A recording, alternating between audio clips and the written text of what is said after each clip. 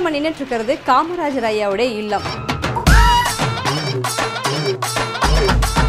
நம்ம ஊர் நம்ம சுவையில இந்த வாரம் விருதுநகர்ல இருக்கக்கூடிய பர்மா கடையில தாங்க. பாக்கறக்கே செம்மையா இருக்கு. நம்ம டேஸ்ட் பண்ணி பார்க்கலாம் மட்டன் சுக்கா எப்படி இருக்குன்னு. நம்ம ஊரு நம்ம சுவை. இன்று மதியம் பனிரெண்டு முப்பதுக்கு. நமது புது யுகத்தில்.